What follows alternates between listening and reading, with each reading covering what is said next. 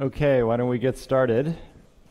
So, this is the last lecture, and finally, I'm going to arrive at uh, loops, which is, of course, kind of the frontier, uh, for at least for uh, LHC calculations, and also investigating things like supergravity and so on. and uh, I probably should have done this earlier, but uh, this is, a, if you want to look up a reference that covers a lot of what I've talked about already. Um, uh, it's in uh, this arXiv article. The BCJ stuff is not in there, but you can read about it here. And then there are plenty of follow up papers to that. And today, hopefully, I'll talk a little bit more about some of the mathematical functions you get when you do loop amplitudes. And there's a nice review of that by Claude Duhr. So, what I really want to do today is uh, to talk about unitarity sometimes uh, will be generalized unitarity. So that, that allows us to sew trees into loops. So we'll look at a simple example of that of doing that, and then uh, talk about the uh, kinds of mathematical functions you get in loop calculations with an example of polylogs. That doesn't exhaust everything, but it's a good, it has plenty of its own intricacies. And if there's time, I'll uh, say a little bit about uh, applying some of these to uh, planar n equals 4 super Yang-Mills. So that's the plan for today. So the uh, scattering matrix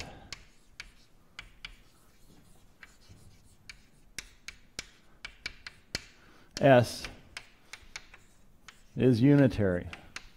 It comes from unitary time evolution with our Hermitian Hamiltonian, so it's something like e to the iht. And uh, so we can write down the fundamental relation that it must obey, which is that S dagger S is 1.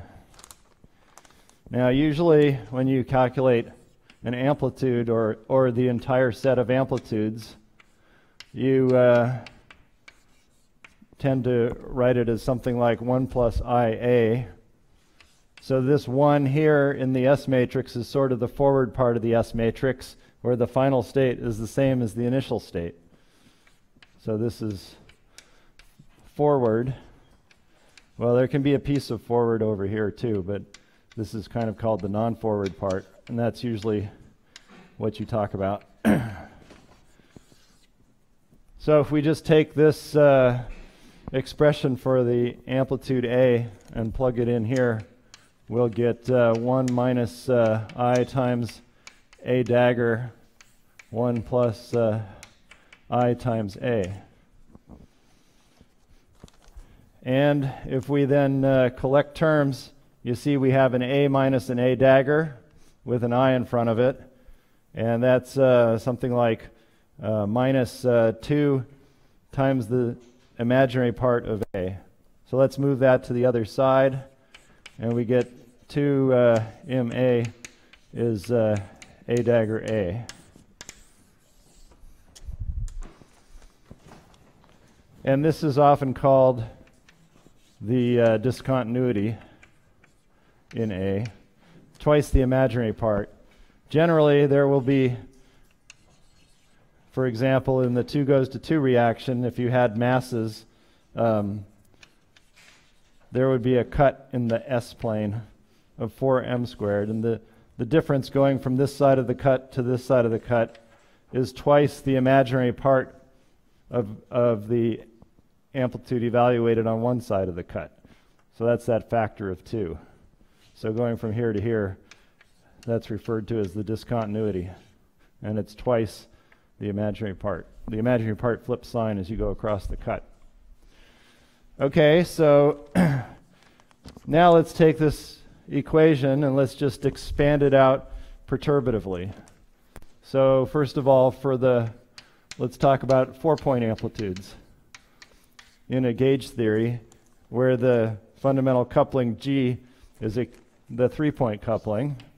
So then the uh, structure of the amplitude is that the four-point function at tree level, so this zero is the tree level term, has two powers of G in it.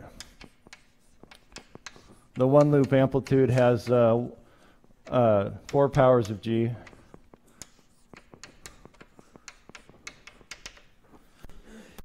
Oh, and while we're at it, let's expand out the uh, five point amplitude.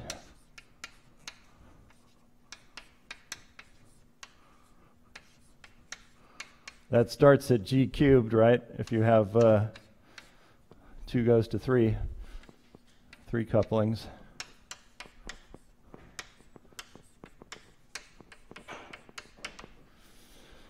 So now we're going to plug this in to the right-hand side of this equation.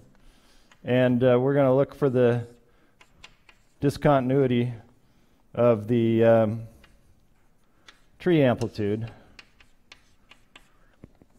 But on the right-hand side, so this is something that's of order g squared. But on the right-hand side, we have to take products of things that all start at least at g squared, so we're not going to see anything. Because the right-hand side is uh, order g to the fourth. On the other hand, once we go to the uh, discontinuity of the one loop amplitude by picking off the terms of order g to the fourth on this side, we get just A40 dagger A40. So, in other words, the right hand side looks like this.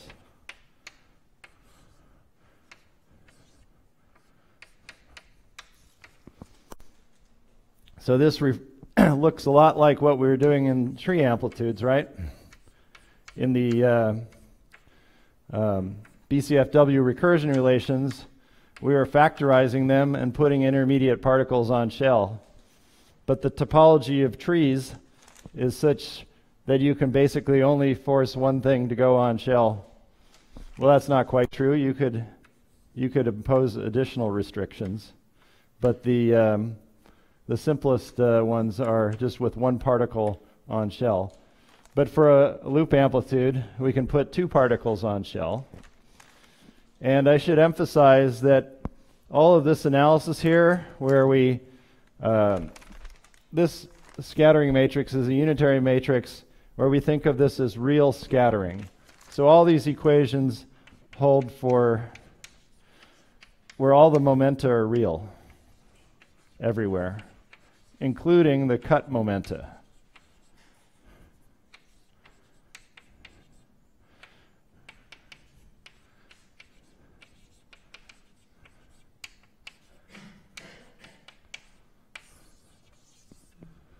So this is called uh, ordinary unitarity because we're going to generalize it in a, in a minute.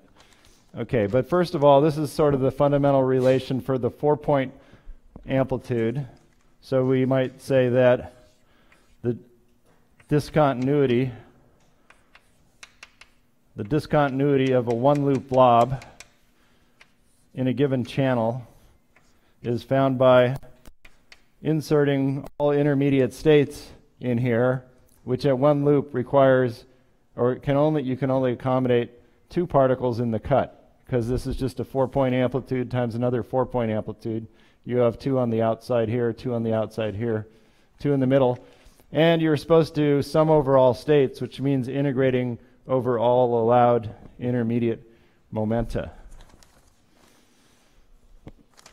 Any questions about that?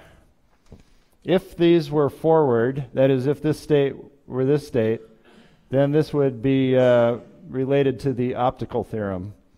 Then this would be the imaginary part of the forward amplitude, and this would be the total cross section um, uh, because it would be the square of an amplitude with the same state here as here.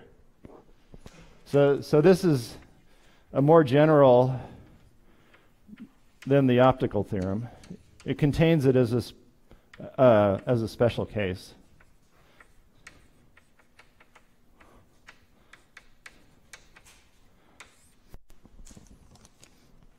Now let's go one loop higher. I might need a little more room, so let's go over here.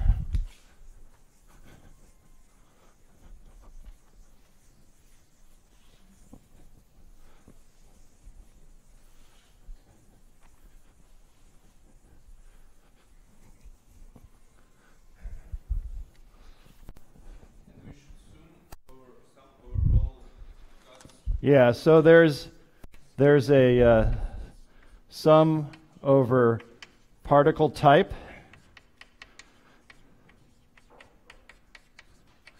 There's also, well, inside the sum over particle type, there will be a sum over helicities. And then there's also an integral over the Lorentz invariant phase space crossing this cut over all the momenta. In the two body case, it's very simple in the sense that you can go to some center of mass frame and you have two particles coming out, and the sort of center of mass energy is fixed. So you kind of know the particle's momentum or velocity, and you just have to integrate them over an angular sphere that they can uh, be on. So you're doing an integral over a two sphere to really recover this full discontinuity. okay, so any other questions? So let's just repeat the same analysis at um, two loops where we're looking for all the terms that are order uh, g to the sixth. And uh, we have A4 0 dagger A4 1 where we take g squared from here, g to the fourth from here, plus A4 1 dagger A4 0 Plus, we can also take the five point guy now. So this was g to the fourth, g squared, and we can have g cubed, g cubed. We need it to do it at tree level. So we can draw little graphs for this too. This would be tree level on this side and uh, one loop on this side. So this hole in the blob means it's at one loop. But of course, you can slide the loop over to this side too, and that corresponds to this term.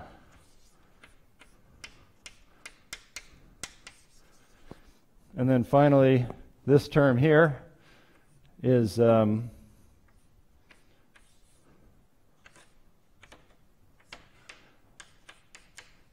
a three particle cut. So you have two legs on the outside on either side, but you have three uh, three body intermediate phase space to integrate over, which is more complicated than the, the two body case. Okay, so we have these uh, three types of terms. Two part at two loops, you can do a two particle cut, but you need a loop amplitude on each side, or you can do a three particle cut with trees on both sides. Now, there's two uh, uh, ideas that you can use to try to make uh, perturbative calculations more efficient, which involve using these equations. But then what you want to do is uh, match these uh, relations.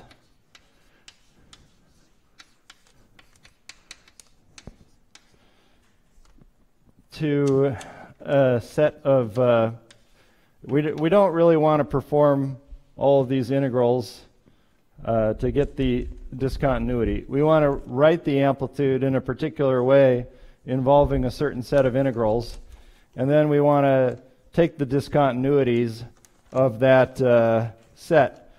Um, anyway, this will be more clear when we work through an example of uh, local integrands.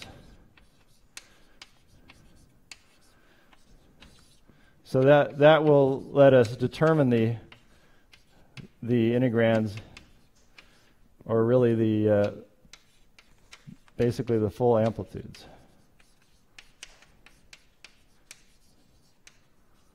Now, you might think it would be hard to get the full amplitudes because this is only the cut part. Maybe there's some part of the amplitude that doesn't have any cuts. To get the full amplitudes, there, there various tricks. One, one example that works is to do the the cuts uh, in um, in dim reg in d equals 4 minus 2 epsilon dimensions. You often have to do this sort of anyway to regulate it, but if you do it seriously in 4, dimension, 4 minus 2 epsilon dimensions, turns, you, turns out you can get back the full amplitudes. Anyway, that's one idea is to try to match these relations to the perturbative structure of amplitudes. And the second thing is to go beyond this. Once you're doing the matching and you're not really doing an integral over the real momentum phase space, uh, you don't need to, the momenta to be real anymore. You can allow the cut momenta to be complex.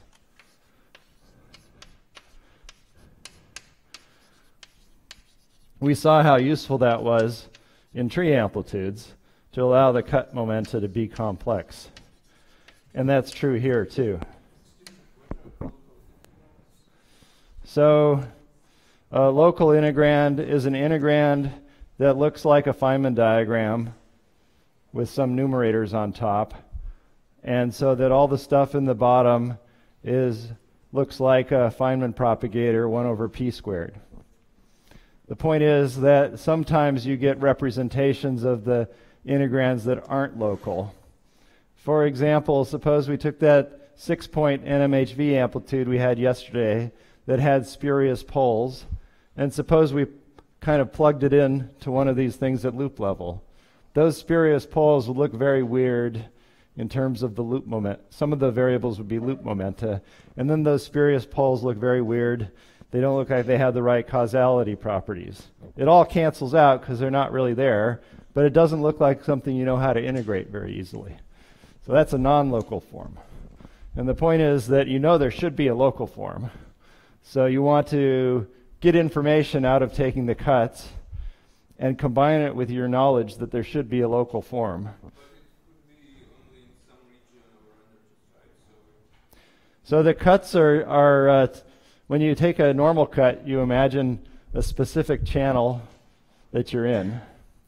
But you're matching it to an expression in terms of a local integral which is agnostic as to which channel you're in. So you can extrapolate the information about the coefficients in front of certain integrals. You can extract it thinking maybe you're in one channel, but it doesn't really matter. At the end of the day, the coefficient in front of the integral is what we're going to get, and it's going to be a rational function. It doesn't really care about the cuts. You find it by matching the cuts of the integral that it's multiplying to this sort of uh, expression. And then you can extrapolate it to other kinematics because you know how to analytically continue the loop integral that it's multiplying.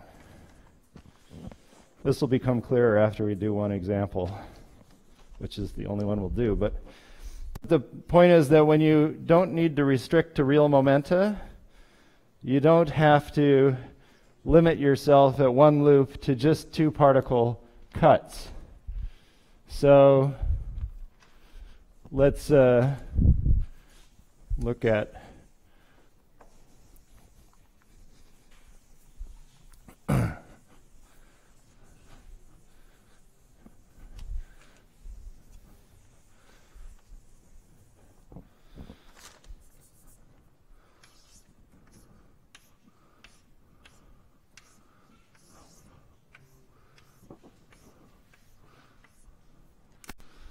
Suppose we're doing a calculation of some loop amplitude with a lot of external legs like this.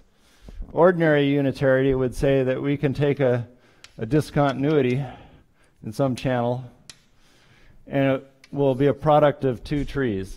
That's what we just saw, uh, connected by these two legs.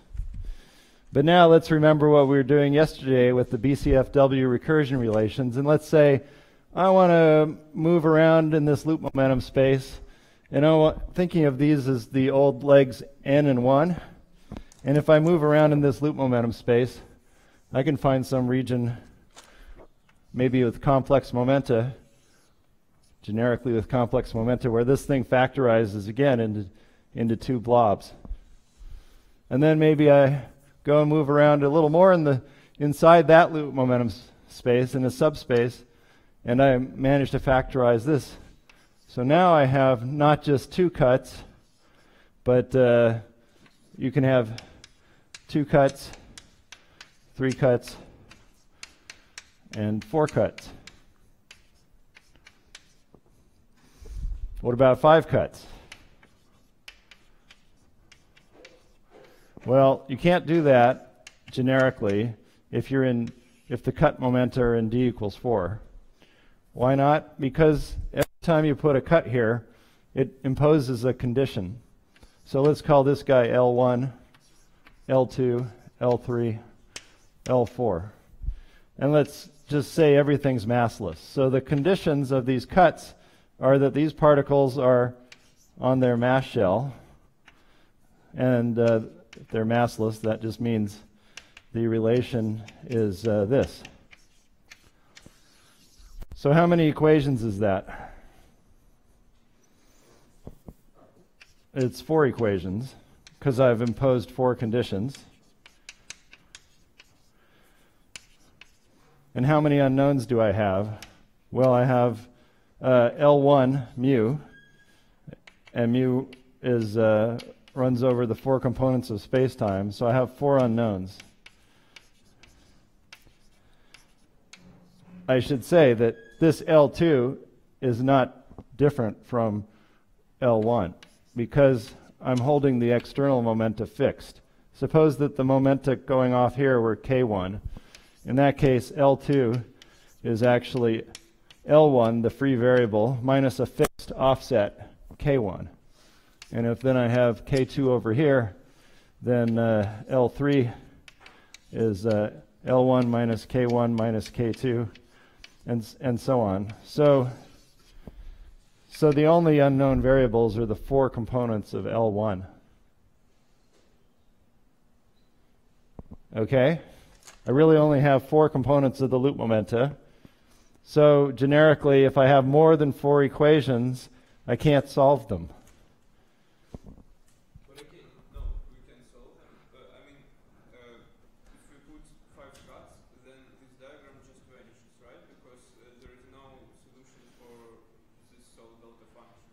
That's right. There's no solution, at least for generic momenta. If the external momenta happen to lie in some uh, special configuration, then maybe you can solve them. But if the external momenta are generic, you can't solve those five equations. There has to be certain dependencies in order to, for you to find a solution. So gener generally speaking, you don't need to compute five particle cuts, quintuple cuts, if if uh, your cut momenta are in four dimensions. But I already mentioned that sometimes you want to take the cut momenta to, uh, well, we'll get a little extra dimensional because that's the trendy thing to do today, right? So we, we want to use dimensional regularization. We want to take an extra component of the loop momentum seriously. And if there's only one extra component of the loop, if, there's, if you're at one loop, then you might as well you can always. You're supposed to do it in d equals 4 minus 2 epsilon, where we think of this as being actually positive. But it's equivalent at one loop to just doing it in d equals 5. So at one loop, if you're trying to do these cuts fully d-dimensionally, then you do need to consider these uh, pentagons or, or quintuple cuts, but nothing above that.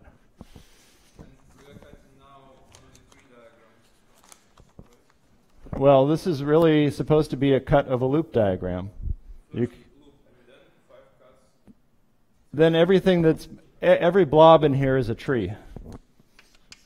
I'm at one loop, and once I start to cut it, then things reduce to tree topologies.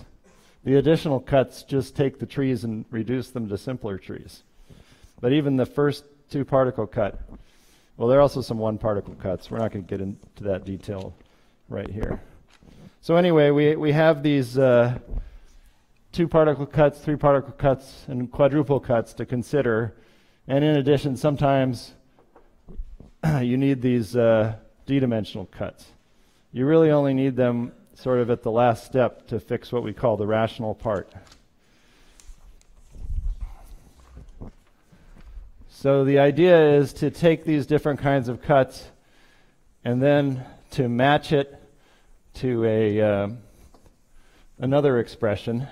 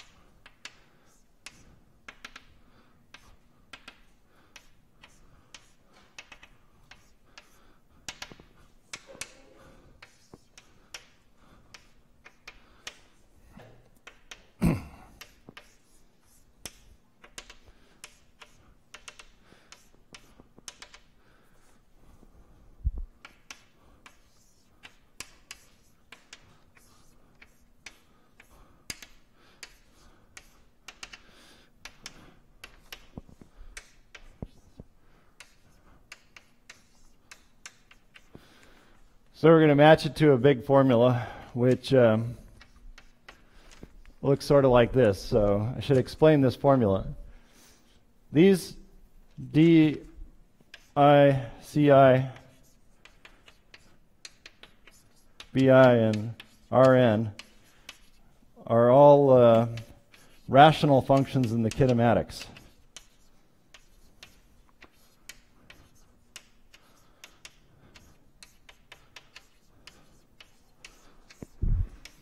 So they don't uh, have any cuts. When you take a cut, it doesn't see these rational functions. It goes inside and it cuts these things. These things are loop integrals, but they're very specific loop integrals.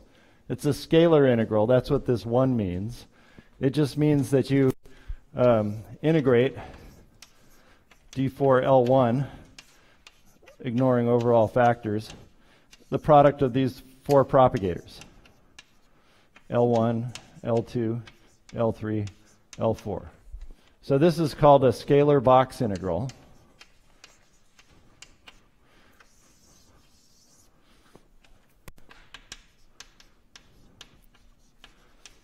And these have all been done a long time ago. You can look them up. So you know what these functions are. So when you want to go compute a given amplitude, your task is to figure out what these coefficients are in front. Now, normally, when you uh, think about doing the Feynman diagrams for this process in gauge theory, you would have a lot of numerators in the Feynman diagrams, numerator algebra, depending on the loop momenta. But there's a way to reduce all of those integrals down by uh, some combination of uh, reduction methods called Passarino-Veltman, and for higher point integrals, there was an, some ideas due to Van Neerven and Vermaseren. And we, we studied some aspects of the higher point integrals too. You don't see any pentagon integrals or uh, hexagon integrals or heptagon integrals in here. And the reason is that those integrals can be reduced algebraically down to boxes. And the original derivations maybe weren't so transparent, but the essential reason why they could be reduced down is what we were saying that if all the external momenta and the loop momenta were in four dimensions, the loop integrand can't really have five independent singularities. There must be a way to partial fraction it out into terms that have it, each term having at most four singularities, and those terms are really box integrals. So there must be an identity relating pentagon integrals to box integrals. And those identities were found a long time ago, but they uh, have to be there because of the causal structure that you can't have five, satisfy five cuts um, at once generically. So these are box integrals, triangle integrals, and bubble integrals. And maybe I should also explain what is happening on the outside here. n might be very large. What you need to do is you need to sum over all the ways of taking those n external legs and jamming them into four corners here. So it's the number of part. This sum here is a sum over um, partitions of n of n things into four sets. Sorry, I'm not writing this very well. Anyway, you have to partition n and the n legs into four sets. Here you partition them into three sets, and here you just split them into two sets. And this is called the triangles, integral, obviously, and bubbles.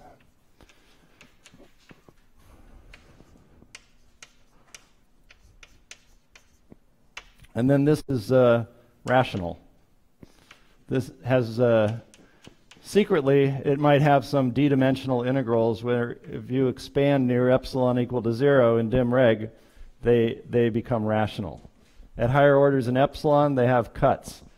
And because they have cuts in higher orders in epsilon, you can determine them using unitarity too, even though they don't have cuts in four dimensions.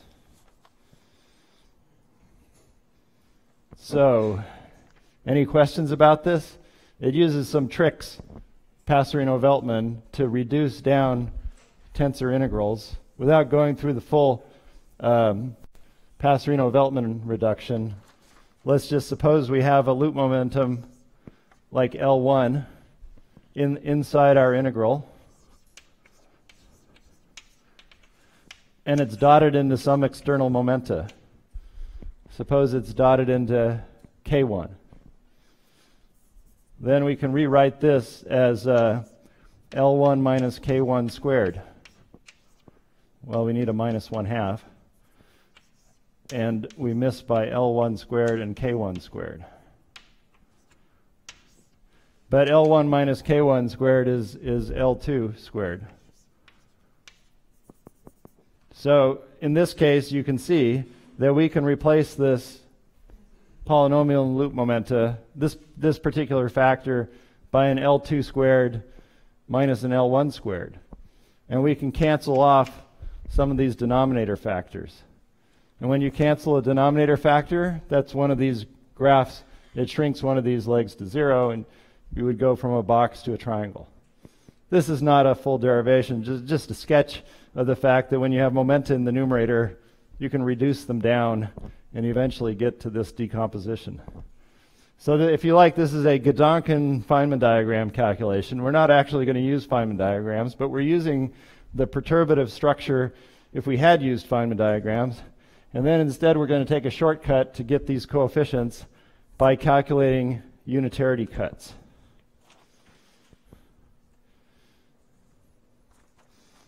So I'm going to now give you an example, the one example is to calculate a particular quadruple cut. And that quadruple cut will lead us directly to one box coefficient. So we're going to put four of the particles on shell. Once we put four particles on shell, we already know that we will get no contributions from any of the uh, triangle terms because there's only three things that can go on shell in this singularity of this triangle, or here, or rational. So the quad, quadruple cut is nice because it doesn't get contaminated by mixtures of different integrals. Suppose we had done the two particle cut. Then we would get contributions from here, but there are many triangles that also have two particle cuts in them, and also many boxes that have two particle cuts.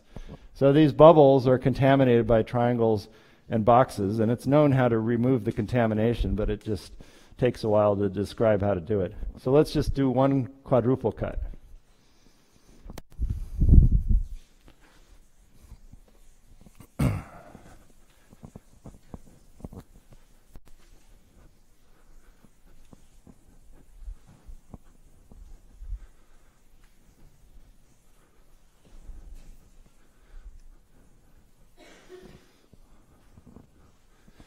I'll redraw this with specific momenta here.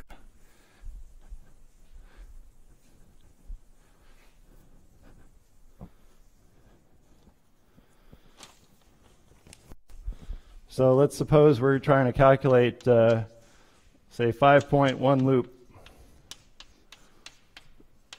gluon amplitude for the helicity configuration like this. And we're going to do uh, a particular uh, quadruple cut that sort of separates these in a particular way.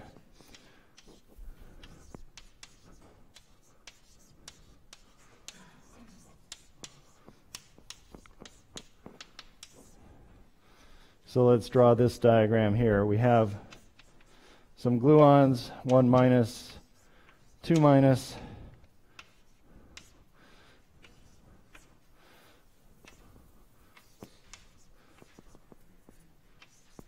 three plus,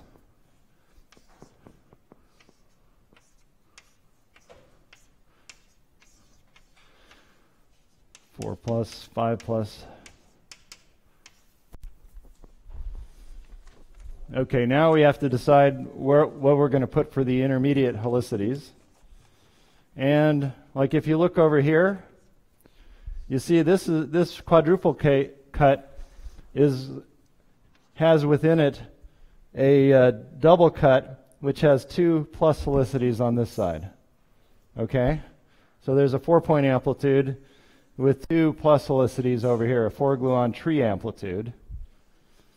It looks like a special case of it because I further split it into two three-point amplitudes, but it has to obey the, the rules for four gluon amplitudes. So what do these, where, what do I have to put over here to make that work? You remember which helicity configurations are allowed for the four gluon amplitude? Now remember that uh, the four gluon amplitude, A4 tree, with, with the all outgoing vanishes. And the only one that's non zero is, uh, well, there's different color orderings, but you have to have two minuses and two pluses to get something non zero. So I have to put a minus here and a minus here. And then, according to the all outgoing conventions, when you cross the cut, you have to put a plus here and a plus here. Now let's do the same analysis looking at this, they're up on top here. If you glue these two together, this makes another four-point tree amplitude. So the same argument applies. And we have to put a minus here and a minus here so that this upper four-point amplitude is satisfied, is happy to be non-zero. And then we have to put pluses here and pluses here. So using those rules, we figured out what the helicity assignments are. So, by the way, another reason I'm doing the quadruple cut is because it's actually simpler than the triple cut or the two particle cut. And let's figure out why is it simpler? Well, remember, we have exactly the same uh, number of equations as unknowns.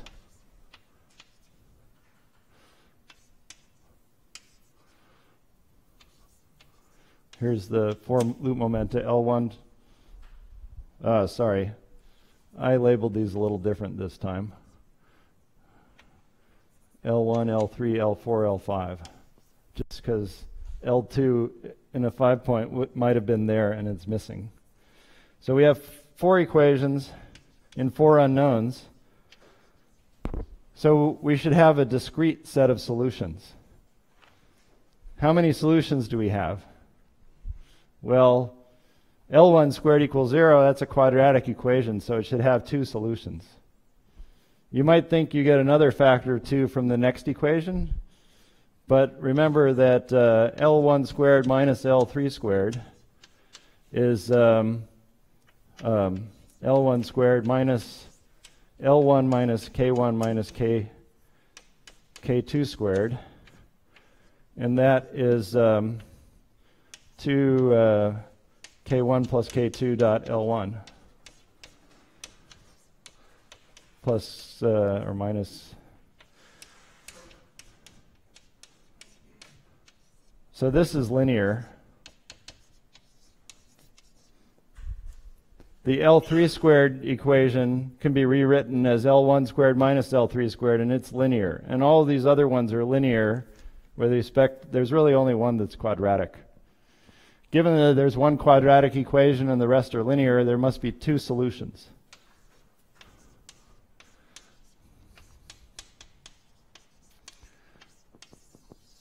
And that would be true for a generic quadruple cut.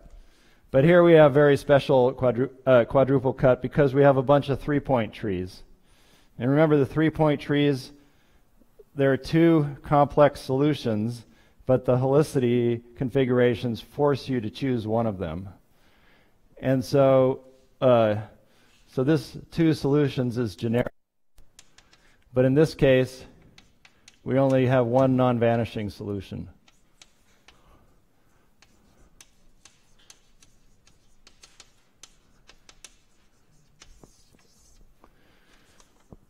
So you could, the helicity analysis forced us into one helicity configuration, and that one will only be supported on one of the two solutions.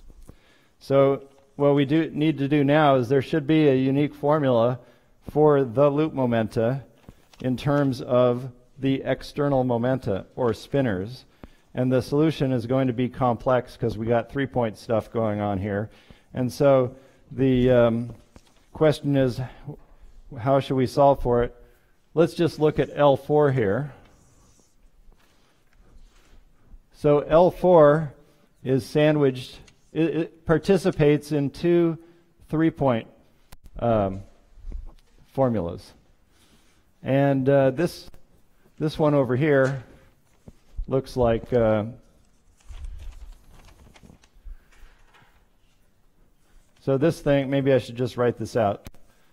This is going to be a4 tree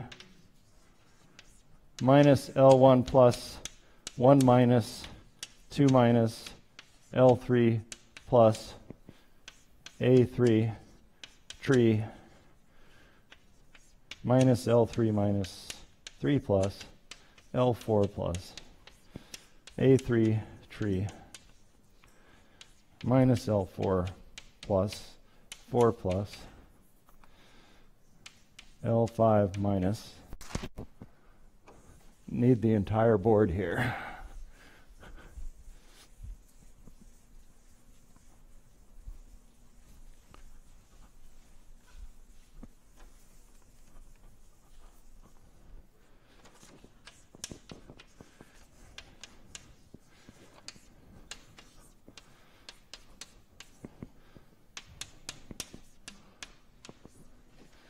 Okay, you can check that I got all the helicities uh, right compared to this figure. But in any case, this is uh, equal to, this is an MHV tree amplitude with two minuses, which are 1 and 2. And that gives us a 1, 2 to the fourth in the numerator, which can cancel one of them against the denominator.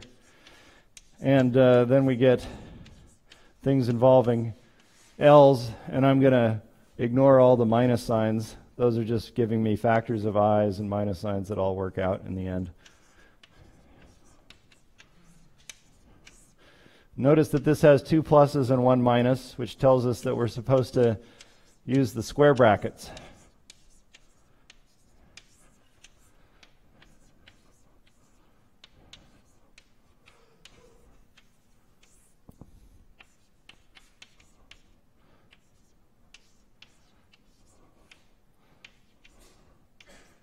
So I'm just writing down MHV and anti-MHV amplitudes one after the other.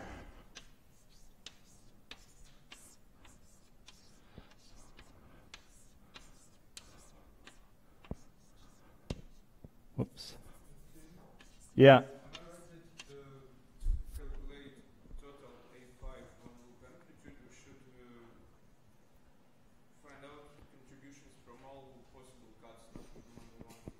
Yeah. We're not going to do the whole thing. Don't worry. I can see you getting uh, running when that will run out of time. We're just going to do this one case, but but actually, uh, it turns out that all the other quadruple cuts are almost identical. Um, but uh, we'll just do this one, and then there's the triple and bubble, and uh, so on. Yeah. So anyway, um, main thing is that the structure of these three-point amplitudes gives us a clue as to what L4 must be. You see, in this uh, amplitude that has the 4 plus in it, we have angle brackets here. And so um, we know that in this kinematics, uh, 4, the square brackets must all vanish. In particular, uh, 4L4 must be 0. And so that means that uh,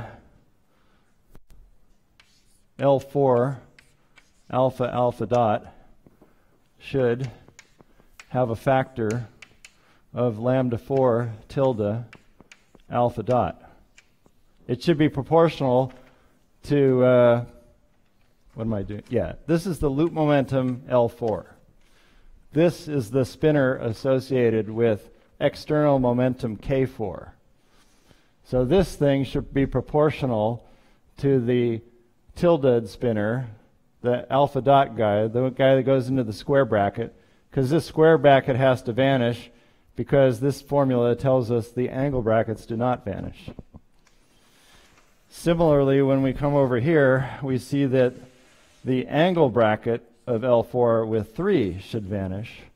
So this thing should also be proportional to, to lambda 3, not the, not the tilde, but the lambda 3, the right-handed spinor for 3 and the left-handed spinor for 4. So now we know what this loop momentum is up to a constant. And uh, we can determine the uh, constant. So we've sort of used the information here and here that these are on shell three point amplitudes, but we can go around the corner to here and use that information. So L1 squared is equal to zero, which is L4 minus uh,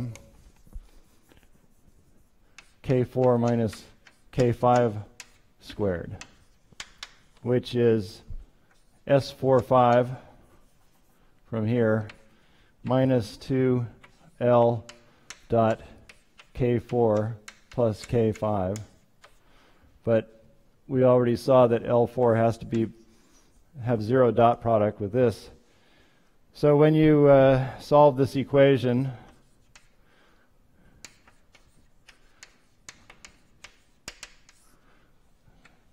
um, plug in for L4 in terms of C and solve for C. And C is, turns out to be uh, 4 5 over 3 5.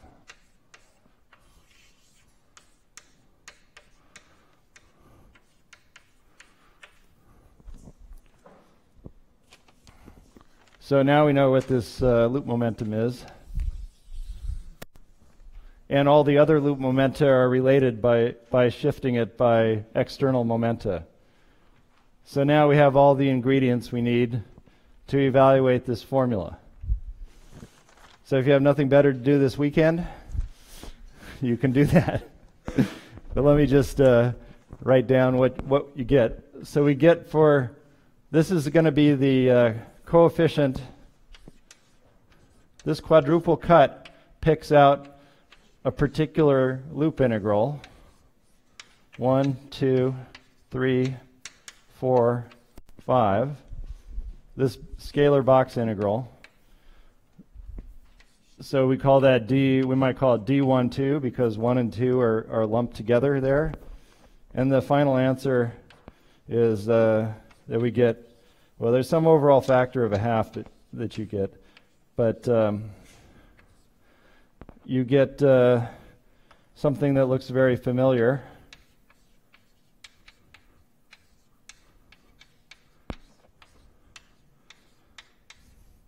You get an extra factor of S34, S45. So in fact, it's just um, something like I over 2, S34, S45. Maybe this has, I don't know, uh, minus sign or something, so that um, this just becomes the tree amplitude.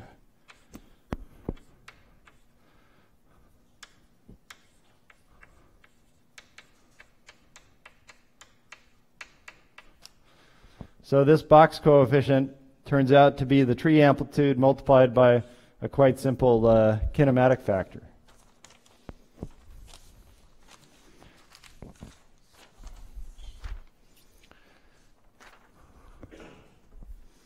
So I didn't go through all that, and there are sometimes various shortcuts you can use in the evaluation having to do with how these other loop momenta differ by external momenta from L4, but uh, it's just an exercise in, in working with these spinor products.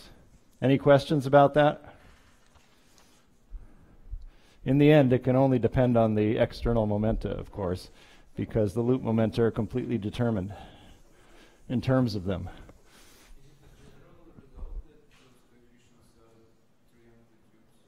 No, but they often look like pieces of tree amplitudes. So like when you do an NMHV loop amplitude, the typical thing you will get for a coefficient is one of the terms in the BCFW relation. So that's a typical thing. For the boxes, when you go to the triangles, you will start to develop some spurious stuff downstairs. Well, the a piece of the NMHV tree has spurious singularities in it. We already talked about that. But you get new kinds of spurious singularities in the triangle and bubble coefficients. And those spurious singularities, they cancel out, just like we saw in trees, except that it's even more complicated how they, you know, how exactly they cancel. The cancellation involves what the loop integrals themselves are doing as well.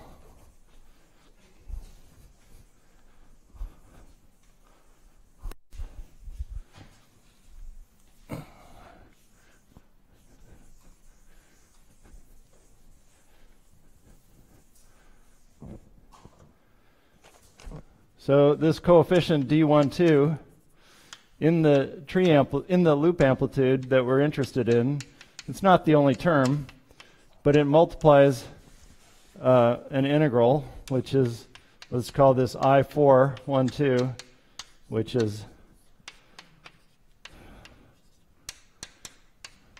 just this thing. And now I'm just going to write down what the formula for it is.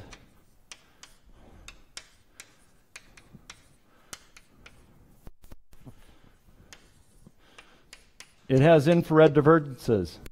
We did we looked at triangle integrals before that had double poles in epsilon. Very similar massless propagators that are separated by massless legs, like in the triangle integral. And uh, you might remember that we had um, double poles, and then we had some piece of their divergence that depended on the kinematic variable S34, or, or the two adjacent legs. And so you won't be very surprised then to see that you get similar factors for S34, S45, and then there's one leftover one for S12. And then you get finite terms, and the finite terms involve uh, dilogs.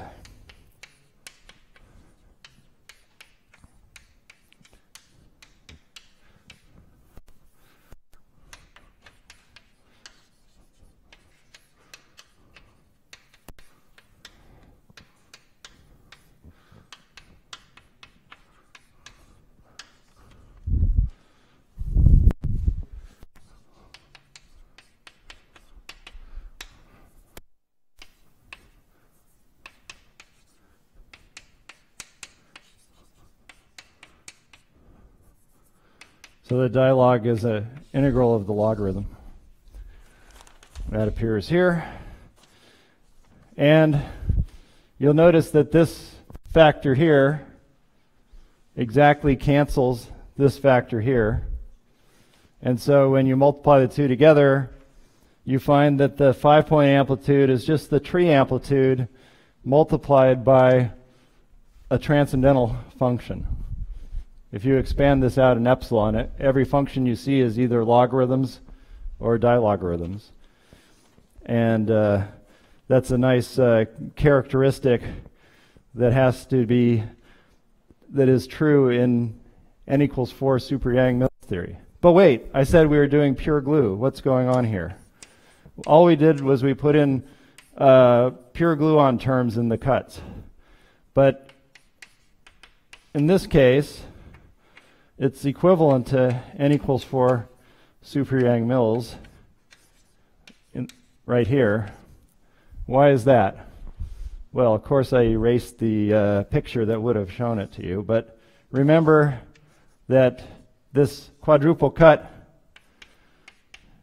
had within it a cut like this, which required us to make these two particles negative helicity. That negative helicity, if you're following a particle around the loop, is really a helicity flip.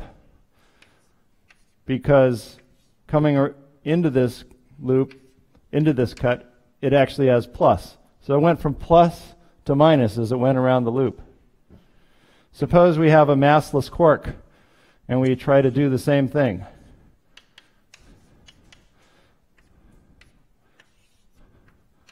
So we have a massless quark of plus helicity here, and by the time it gets around to here, it's supposed to be minus helicity.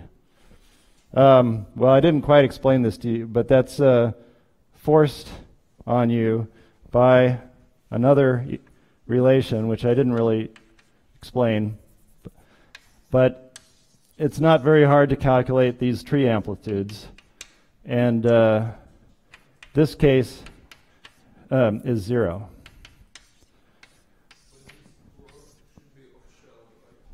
No, it's on shell because we've drawn a cut through it. before, you cut it, it's uh, off shell. But if you're evaluating the cut, you get to put it on shell here, and you get to assign a helicity to it. And uh, well, what I really should have told you is that, that this amplitude is also zero. And this is really what forbids a contribution to this cut from a fermion in the loop. So this this relation, which you can easily verify, says that there's no uh, fermion loop contribution. And furthermore, the same thing is true for scalars. The amplitude for tree amplitude for scalars in any representation in two gluons also says there's no scalar in the loop. And n equals 4 super Yang-Mills has in it a gluon, four fermions, gluinos, and, and six uh, scalars. But the point is, that for this case, these guys don't contribute.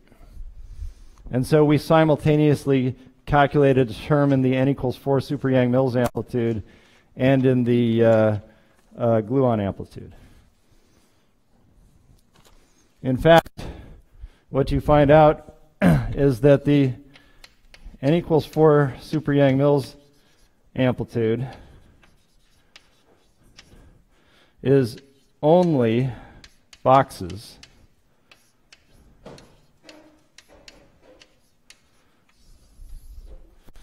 And furthermore, all the boxes have coefficients which are just permutations of this formula. As you cycle around to pick up five different boxes where you merge together the two adjacent legs in five different ways, you just pick up the same formula and the prefactor is again the tree amplitude times whatever this thing becomes. So it, it ends up being the uh, A5 one loop n equals 4 is equal to A5 tree times this thing plus cyclic.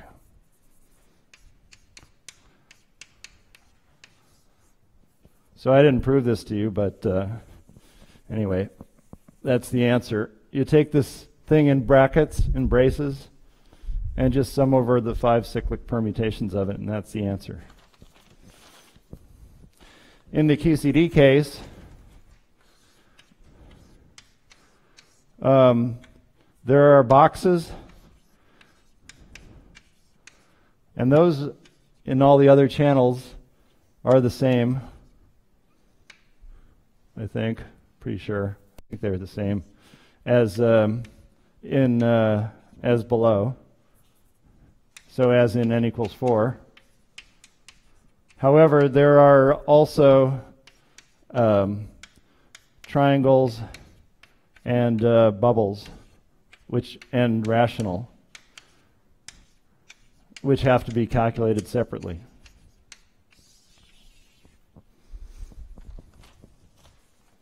Anyway, all that can be done, and you can actually automate all this stuff. And there are various programs you know, at least five different, maybe 10 different programs by now that you can, uh, that can calculate these one loop amplitudes using this kind of method. So does anybody have any questions about that?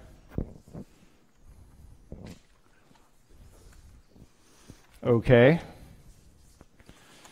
So now I wanted to turn to um, a little more discussion of the kinds of functions that enter amplitudes.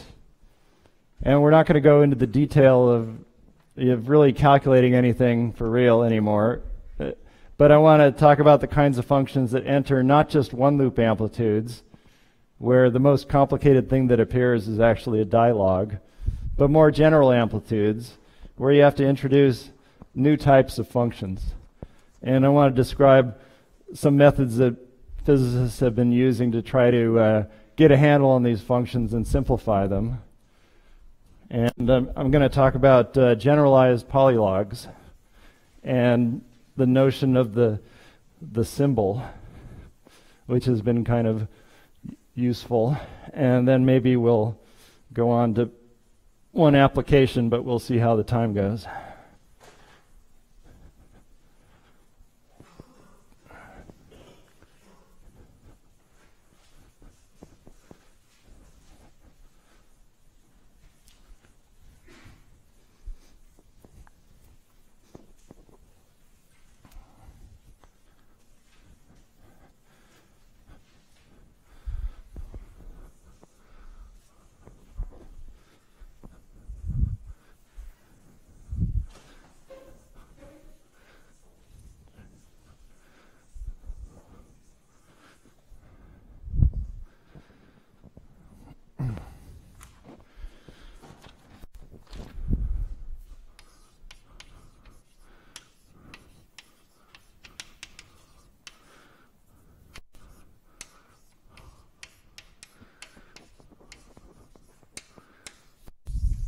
Okay, so before we can generalize the polylogs, I should probably write down what the uh, ordinary or, or classical polylogs, the LIN functions are.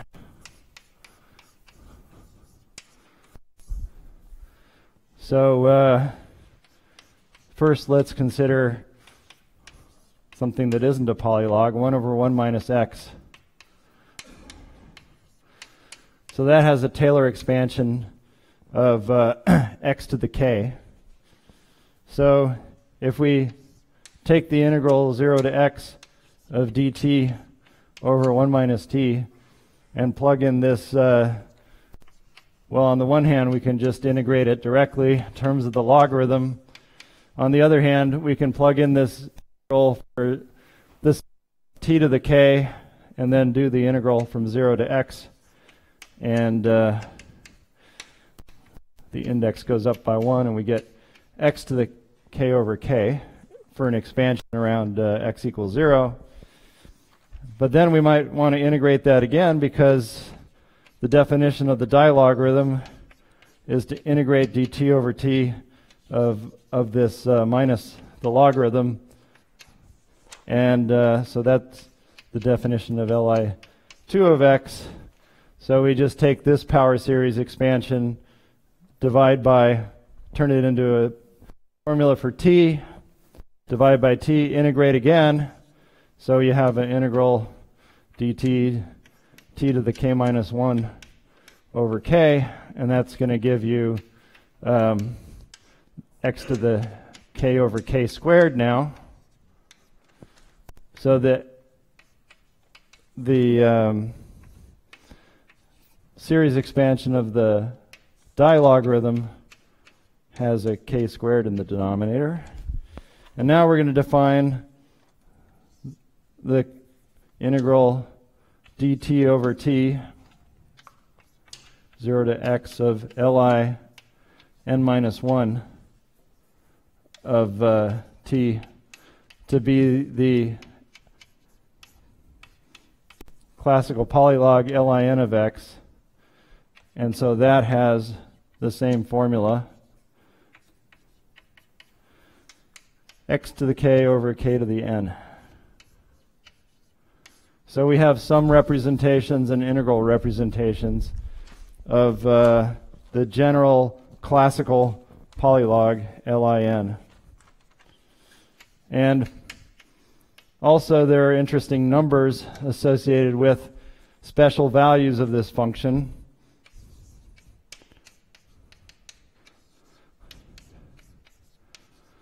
This is the uh, Riemann zeta value at n, sometimes written zeta sub n.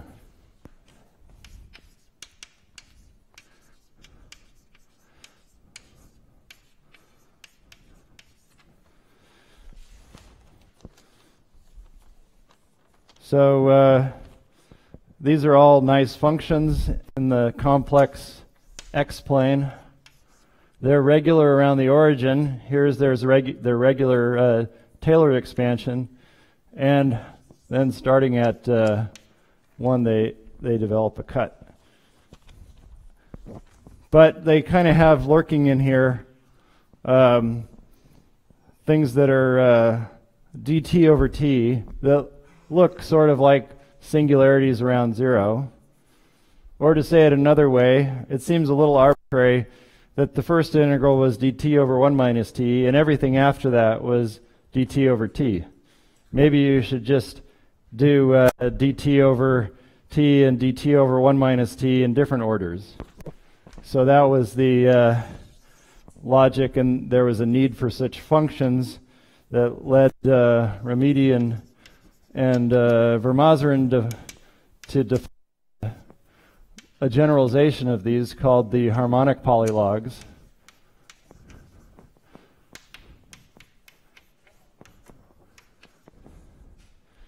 So they said, uh, let's uh, consider HW of x, where this is a, a, a vector, and all the W to minus 1, 0, or 1. And if you have a 0 at the front and some other vector, then you integrate dt over t from 0 to x of the same uh, harmonic polylog without the zero in front. So this tells you how to how to build up a sequence of uh, HPLs. This one tells you what you do if you have a zero in front, if you have a one in front. That corresponds to integrating dt over 1 minus t. And finally, if you have a minus 1 in front,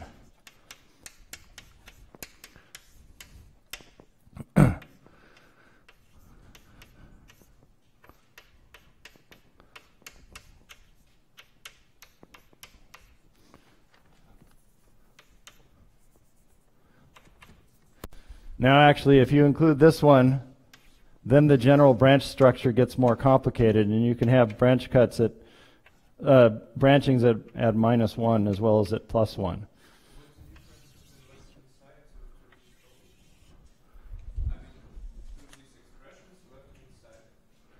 Uh, this is a, a 1 in the front, and this is a minus 1 in the front. Okay?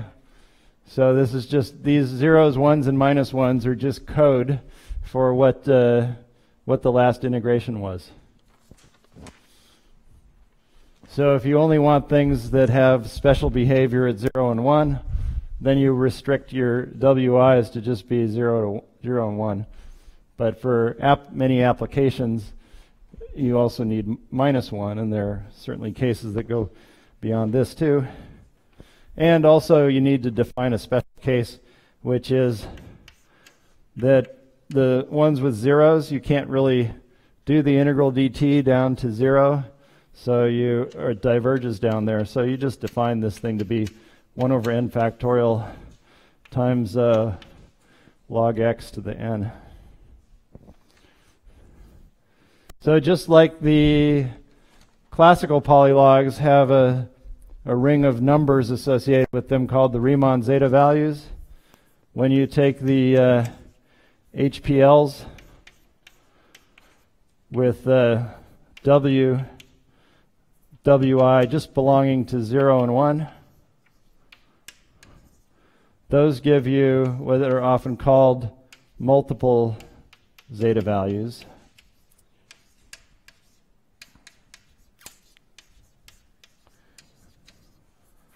Or uh, MZVs. And those can be defined as sums just like that.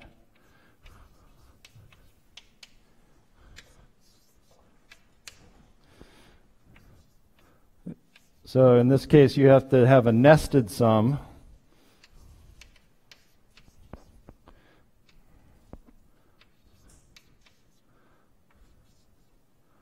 Whoops.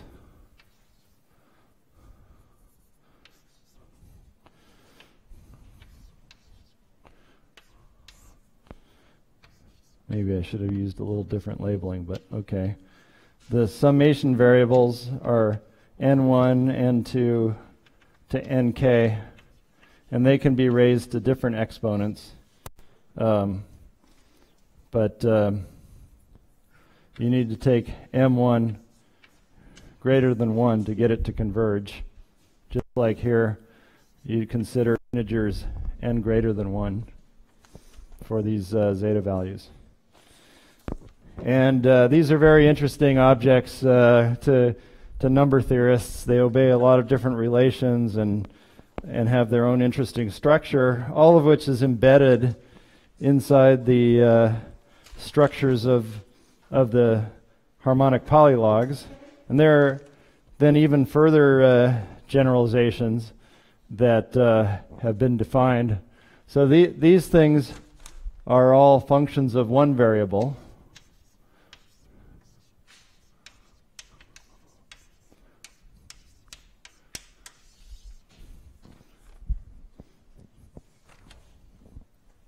But you can generalize once again and write down um, what are sometimes called uh, Goncharov polylogs.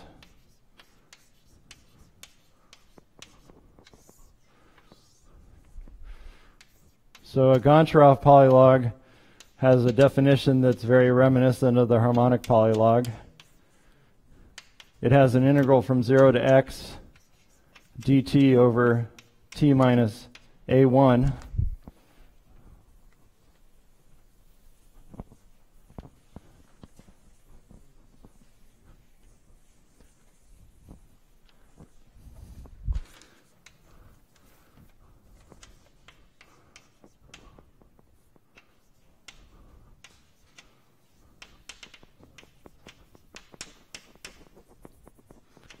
So it's almost the same formula as the harmonic polylogs, except that now these AI are not restricted to be minus 1, 0, or 1. They could be any complex numbers. So there's a lot more freedom in here. And in particular, if you have a multivariable, an amplitude that depends on multiple variables, you will often encounter these Goncharov polylogarithms where maybe one of your variables is x, but these other AIs may be functions of the other variables.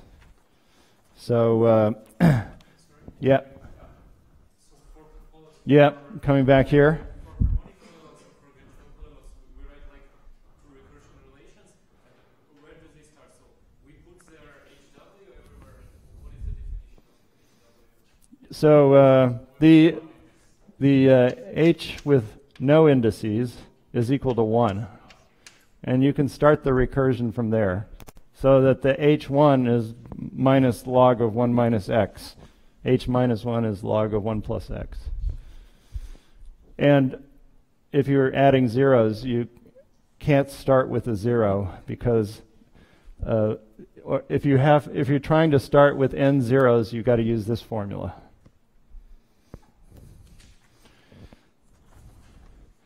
Okay, so these are sort of a complete, I should have said, these are sort of a complete set of things that are branched in a certain way over these points. And, um, and so now we have this much more general space too. And uh, in all, all cases, all these kinds of functions have a huge uh, number of identities, which can be very complicated.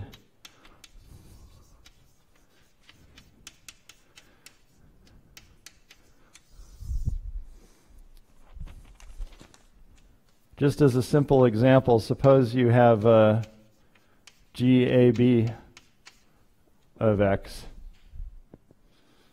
Uh, sorry, let me start with GA of x times GB of x. So this is a, a double integral from, I'm just writing it uh,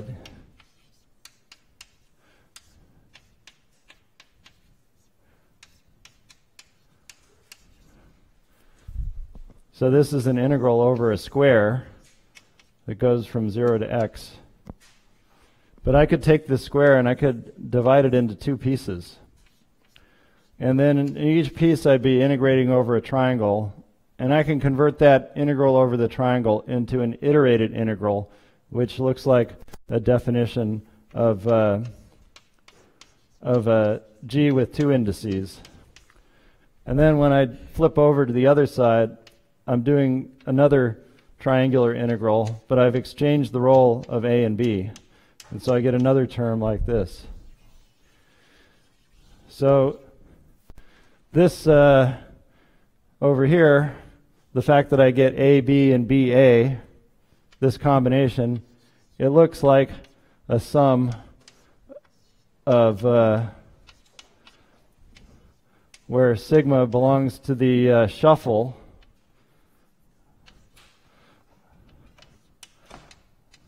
Remember that shuffle that we that we wrote down for color for in the Kleiss-Kuijf relations where you have to take two sets and shuffle them together? And I haven't explained this to you, but this is the very first example of a, what's called a shuffle identity when you multiply together two general Goncharov polylogs, not just these very simple logarithms or weight one guys. You can uh, rewrite things in terms of shuffles. So equations like this give you a whole set of shuffle identities.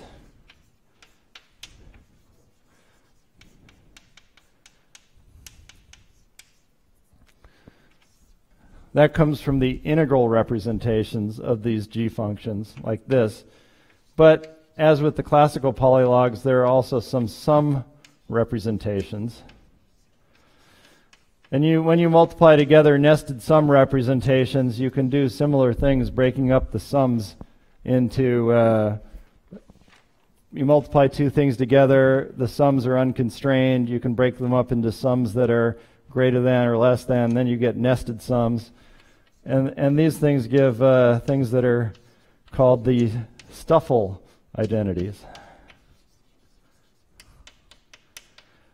So anyway, there's a huge number of identities that these kinds of polylogs obey. So uh, what physicists have been borrowed from the mathematicians is a uh, way of uh, defining a quantity associated with a function called the symbol, which is a kind of rational object, and it's very easy to uh, determine when you have what the independent set of functions that you're dealing with is by calculating the symbols and seeing how many symbols there are.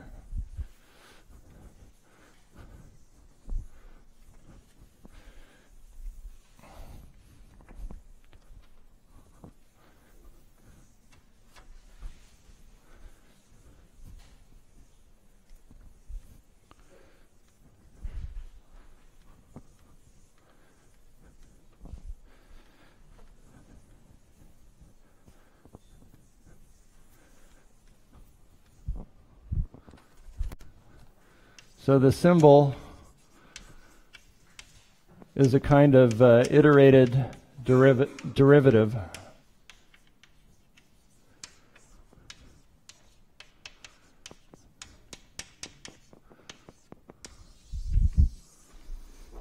Why would that be useful? Well, just let's give a simple example. Suppose you want to uh, derive an identity like this.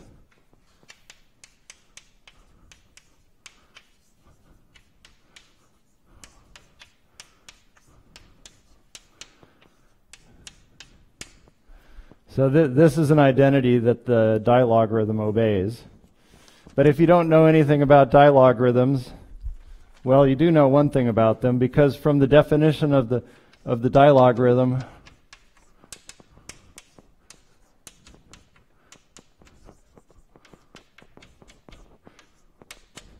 you know that the derivative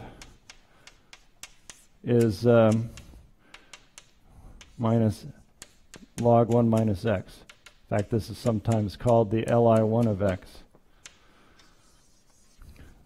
So if you know all identities among logarithms, and here they are,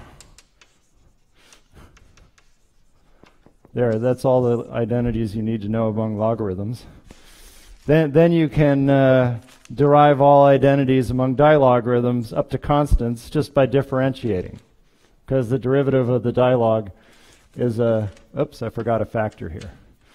The derivative is a uh, minus log of 1 minus x over x.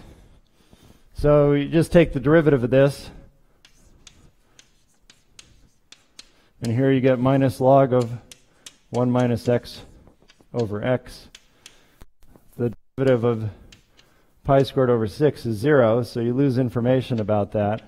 And here we get minus log of 1 minus x over x from differentiating this. And then we get uh, plus log of x over 1 minus x. And when you differentiate this guy, sorry, screwed this up. I'm supposed to uh, probably take plus log. I needed to take that formula and replace x by 1 minus x and switch the sign for the argument. And then this one gives uh, plus uh, log 1 minus x over x. So if I did everything right, then the signs will work out and uh, the identity will hold. So basically, you get all dilog identities in principle by differentiating, and then um, you need to find some way to evaluate them at a particular point. For example, when you take x to 0, this vanishes, this vanishes, and you check that this is equal to pi squared over 6 or zeta of 2 to fix the constant.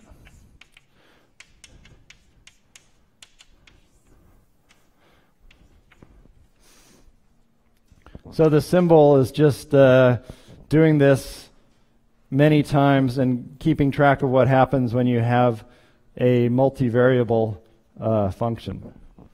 So let's suppose we have one of these uh, functions, uh, f, which has weight. We, we are also going to um,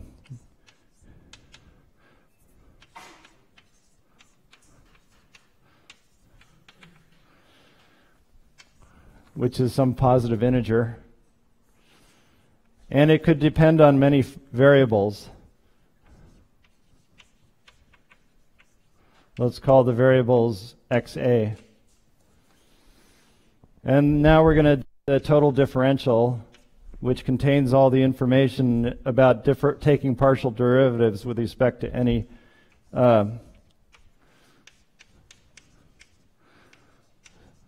any xa, and we're going to assume that that this thing is a sum over a finite set of uh, variables uh, of quantities that we call s.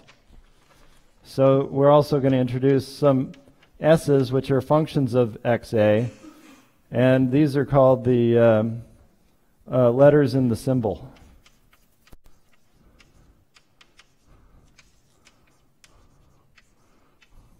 And they belong to some set um, S. So then we sum over the the derivative is going to be a sum of of d log of si of xa. And then these these things here are supposed to be weight uh, k minus 1. And then we're going to keep doing that. Uh, just to be clear, the derivative with respect to f of uh, xa is uh, the same sum times the partial log uh, si with respect to xa. So these are a lot, of, a number of different uh, rational prefactors, and you know there'll be things like if you differentiate this with respect to x, you get a one over x minus a, one of the a's, and those are examples of of uh, the d logs, but they can be complicated dependencies of the si's on the x on the xa's. In the case of the harmonic polylogs that we introduced before, the uh, letters in the symbol are um, just um, x, 1 minus x, and also 1 plus x if we had the minus, the minus 1 weight in there too. Okay, so then the symbol alphabet is very simple. In other words, when we differentiate the harmonic polylogs, we got, because of the form of the integral, you get either 1 over x, 1 over 1 minus x, or 1 over 1 plus x. And those are d logs of, of these three objects. So um, you can take, and the idea of the symbol is to just iterate this procedure all the way down until you get nothing left but d logs. So the second derivatives are um,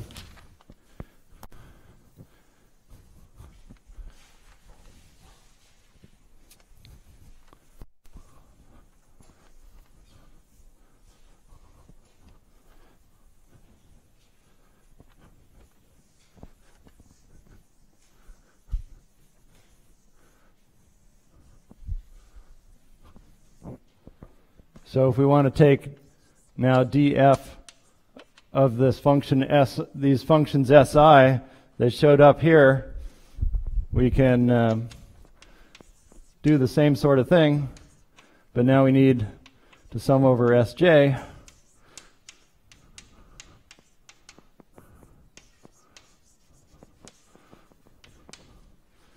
So that gives the differential of this function uh, si. But also the original function d, the total differential is a object that squares to zero, but on the other hand, there's a sum over sj and si. If we plug back into that formula, you get uh, something like Fsj si d log sj wedge d log si. And so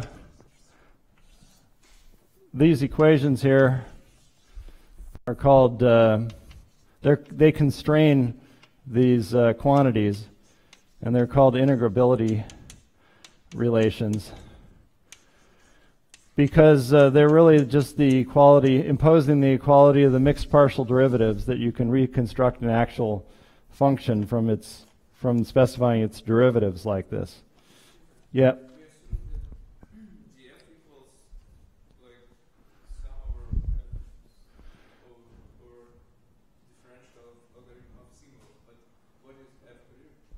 So this f can be, uh, the statement is that it, it lives in the same, there's a big space that is graded by the weight, which is the number of integrations or the, the in the Goncharov definition, how many of these uh, a's there are.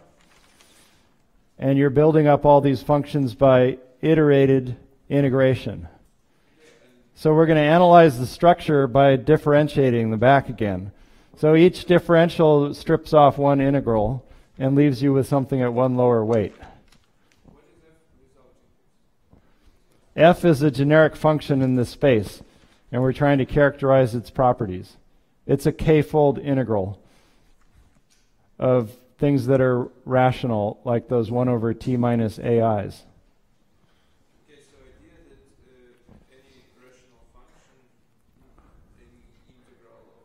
Differentiating functions.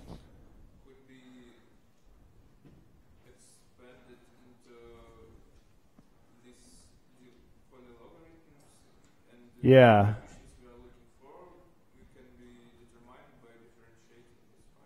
Yeah, that's basically it. So the uh, definition, the then when you go all the way down and iterate this all the way to, uh, well, I guess I said f was of. Let, let me say, sorry. Here I wrote a formula for f having weight uh, n, which I called k over there. So then the symbol of f is uh, written as a sum of uh, SI1 to SIN of uh, some some quantity which has um, n of these indices on it, and then it has a d log of s, and these are usually written with tensors.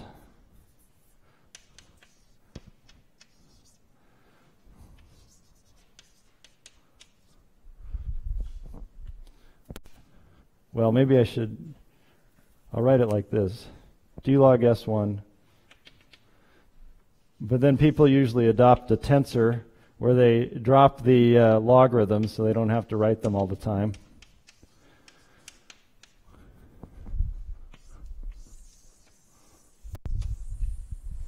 So this is the symbol of, of a function of f of this type.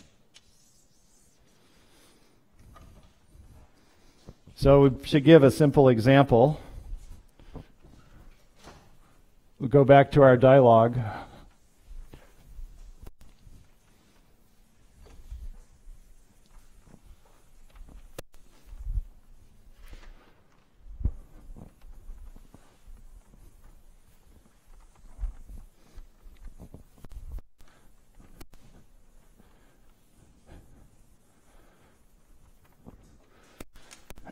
And the definition of the dilog here says that dli2 of x is uh, minus log 1 minus x times d log of x. So we uh, see that that the last entry of the symbol should be uh, log x. Well, we often omit the x. So so the symbol of uh, Li2 of x has an x here.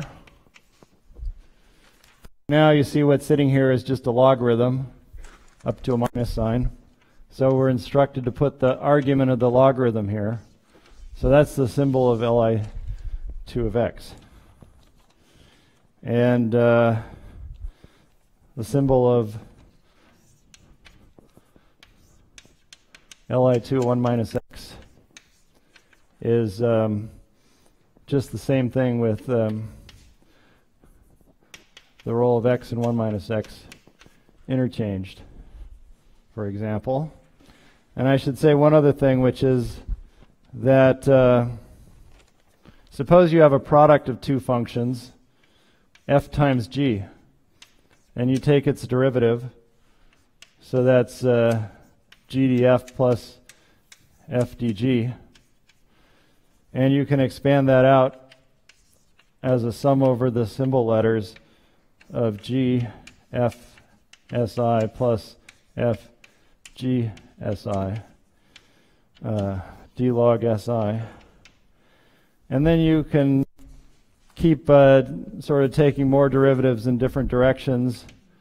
And you see you're going to get FSJ, SI, uh, G. Then you're going to get some mixed terms. Um, if you think about it as you keep doing this, sometimes you're going to have some letters on the F and some letters on the G, but the ones that are on the F are always in the correct order compared to what they are in the definition of the symbol of F. And the ones in G are always going to be in the right order. But the, those letters can be sort of interleaved, and so you won't be too surprised to learn that if you take a product of two functions, it's just the uh, um, symbol of f and then shuffled with the symbol of g.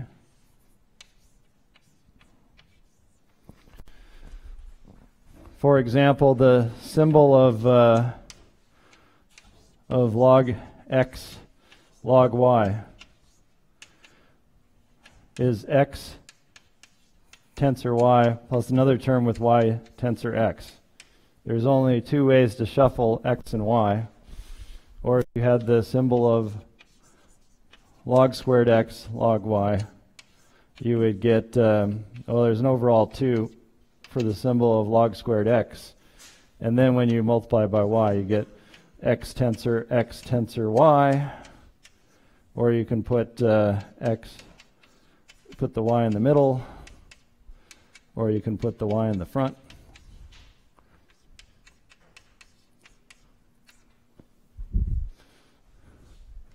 So finally, let's, I mean, let's just then look at this identity we had before. We take the symbol of Li2 of 1 minus x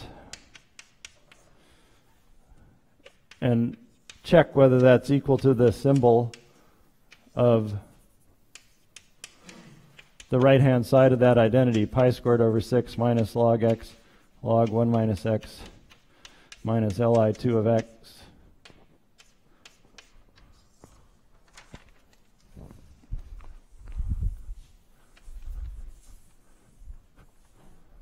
So over here we saw that this was minus x tensor 1 minus x right here.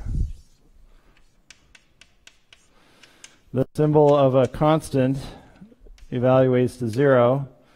And then here we're supposed to do the shuffle together or write in both orders. And then here we have to write uh, this guy with a plus. Okay, so now this cancels against this and we get this again. So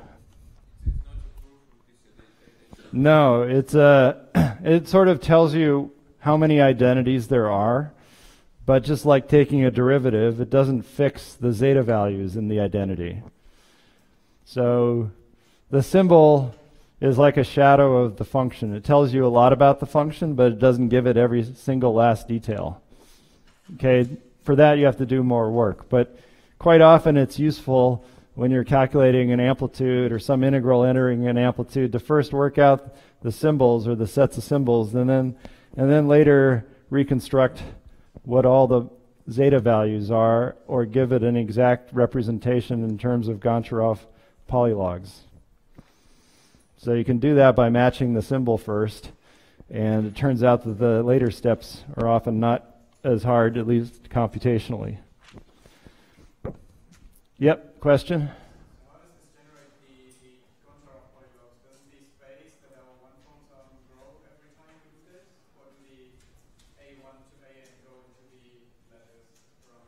The basically the A1s to ANs are are the letters, and and the idea is that you will have the given physical problems with given kinematics can then be identified. I mean, the hard part is sort of making this connection with some alphabet or some set of letters. And then, even when you go to sort of very high weights in principle, the number of letters is restricted. So the sets of A's, you know, you don't use an arbitrary new variable for each weight. So the uh, I'm not going to go into this application because there's no time.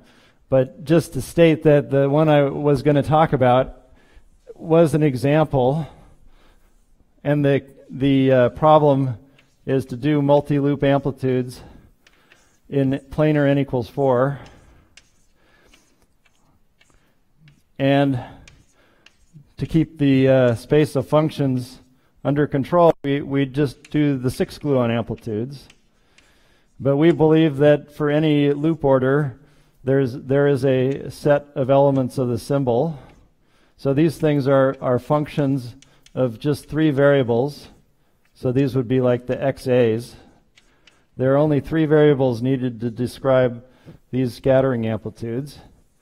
And the symbol alphabet contains u, v, and w, and 1 minus u, 1 minus v, and 1 minus w. If, if we had stopped there, it would have been the tensor product uh, space of, of uh, harmonic polylogs in U, harmonic polylogs in V, and harmonic polylogs in uh, W. But there are three more letters, YU, YV, and YW. And these are also functions of U, V, and W, but there's some complicated, um, they have square root dependence on, um, on U, V, and W which is what makes it so either complicated or fun, depending on your point of view. And uh, so you can actually, um, there, there are other restrictions on this space. For example, from the where the branch cuts are located, we can deduce that the first entry in the symbol does not belong to this full space, but it can only be u, v, and w. And from compatibility of multiple branch cuts, we can also say something about the first two entries of the symbol. And then what we can do is we can just ask how many different polylogarithmic functions have live in that restricted space and we can build it up iteratively. And then we can actually impose physical constraints on the amplitude. And we never have to do the sorts of thing I was describing in the first part of the lecture. In the first part of the lecture, I was talking about taking specific cuts, building up a loop integrand, and then integrating it. In the one loop case, it's trivial to do. In the two loop case, it rapidly becomes an enormous mess. And so in this case, we're able to bypass that step of integrating the loop amplitudes just by um, making an educated guess about what all possible loop integrals could possibly be, and then writing the answer down in that form. And we're actually able to go so far to six loops doing this. I mean, this is not the real world. This is planar n equals four super Yang-Mills, but it's a it's a good uh, training ground for uh, some of the things you'd like to do back in the real world. And uh, anyway, I think I've come to the end of my time here. So uh, hope you got a little bit out of this, and uh, thanks for your attention.